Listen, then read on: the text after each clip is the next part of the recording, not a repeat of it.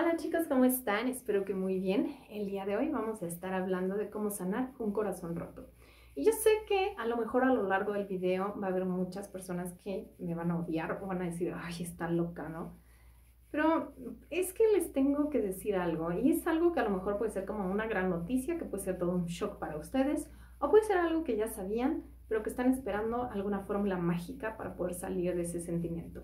Y a lo que me estoy refiriendo es que en el momento en el que nosotros eh, terminamos con una relación, nosotros obviamente nos ponemos tristes, pero el tiempo que dure esa tristeza va a depender enteramente de nosotros y de nadie más. ¿A qué me refiero? A que a lo mejor nosotros, este, cuando terminamos una relación, pues es obvio que estemos tristes, es obvio que tengamos un sentimiento de pérdida, es lógico que nos sintamos mal, ¿vale? Cuando nosotros tenemos un sentimiento de pérdida, obviamente guardamos cierto luto. Es decir, que sí, necesitamos un tiempo, un periodo para poder de alguna manera, eh, pues, eh, sacar, por así decirlo, todas esas emociones tristes, a lo mejor llorar, este, etcétera, ¿no? Y acordarnos a lo mejor como de todas las cosas que pasamos dentro de la relación para que de alguna manera pudiéramos este, dejar ir a esa persona, ¿cierto? Pero ¿qué es lo que sucede? Que la mayoría de las veces es que nos quedamos estacionadas en el es que estoy triste, es que me siento deprimida, es que ya no estoy con él. Y yo entiendo que pueden ser relaciones de muchos años, ¿no? O sea, puede ser que estuviste casado, puede ser que eran novios nada más, pero que es una relación que ya llevan bastantes años y que por eso es que cuesta tanto trabajo de pronto dejar ir a esa persona. Pero aquí, ojo, para aquellos que están esperando esa receta mágica en que yo les diga, esto es lo que tienes que hacer y de esta manera es que vas a sanar ese corazón roto, lamento decirles que no tengo ninguna receta mágica que proporcionarles, porque el sufrimiento es opcional. Tú estás sufriendo porque tú quieres sufrir. Para poder sufrir necesitamos tener pensamientos negativos.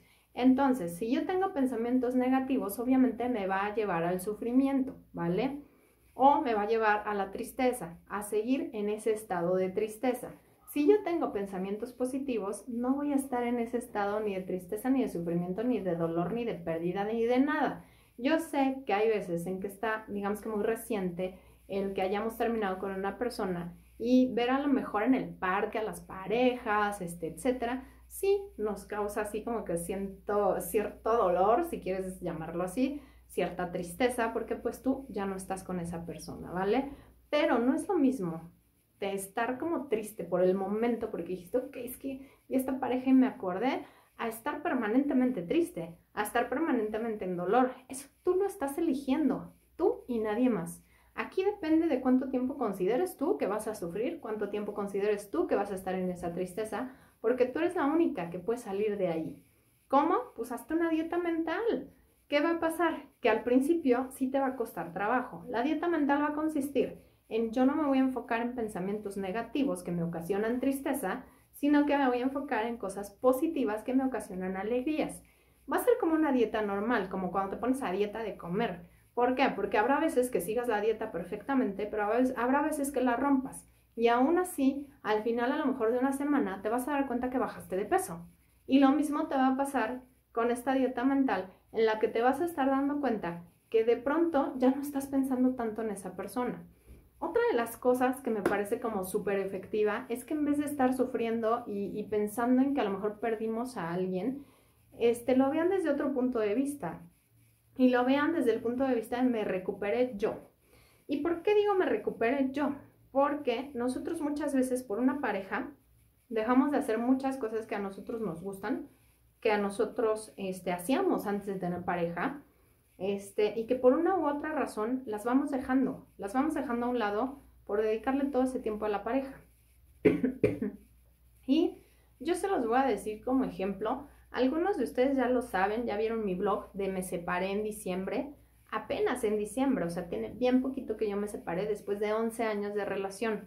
Yo sé que hay quien tiene muchísimo más tiempo de relación, ¿vale? Yo sé que este, pudiéramos hablar de parejas que ya tienen 20, 50 años juntos y que aún así se separan. Pero a lo que quiero eh, darles a entender es esto. Yo en el momento en el que me separé, obviamente sí lloré, ¿ok?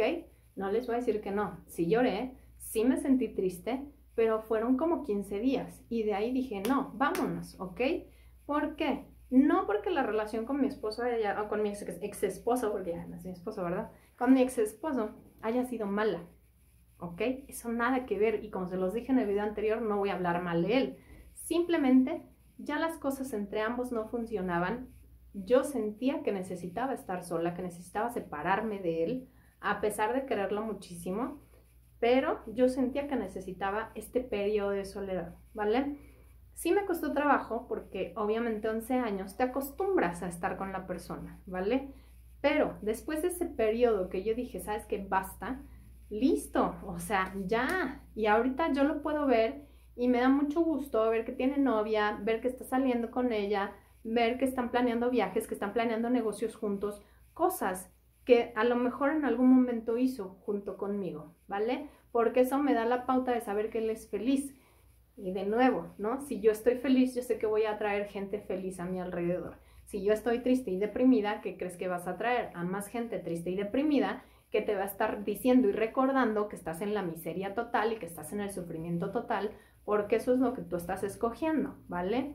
Y vas a encontrar a más amigas que las acaban de dejar, a las amigas que este, están tristes solas y abandonadas, ¿no? O que al menos así se sienten. Porque yo te puedo decir que yo estoy sola y no me siento ni triste, ni sola, ni abandonada. Me siento de maravilla. Este, la verdad es que me gusta estar sola, disfruto mucho estar sola y en un blog anterior a ese lo aclaro. Me gusta demasiado este periodo de soledad que estoy pasando. Este, por lo tanto, de momento, no planeo dejarlo, ¿vale? Pero aquí es que tú te decidas, decídete por favor ya a dejar este periodo de tristeza, que de nada te sirve. Si ya pasaste 15 días, un mes, ya, basta, ¿ok? Ahora sí que hagamos como el, poema de Sabines, que no me lo sé muy bien, pero es el, que dice este, que quiere siete días para reunir todas las palabras de amor que se han este, dicho en el mundo y todas las cartas de amor quemarlas. ¿Para qué? Para que de alguna manera el fuego transmute, por así decirlo, la energía negativa que él tiene hacia esa pareja que se fue, ¿vale? Siete días, siete días para poder olvidar a alguien, ¿vale? Pues bueno, chicos, Espero que les haya gustado este video. Acuérdense que esto es para hombres, tanto como para hombres como para mujeres. Este, así es que pues bueno, aunque va un poquito más dirigido hacia las mujeres, si los hombres lo están viendo, aplica por igual para ustedes, ¿vale? Pero bueno, en fin, nos vemos la siguiente semana con más consejitos. Muchas gracias por verme. Satnam. Namaste.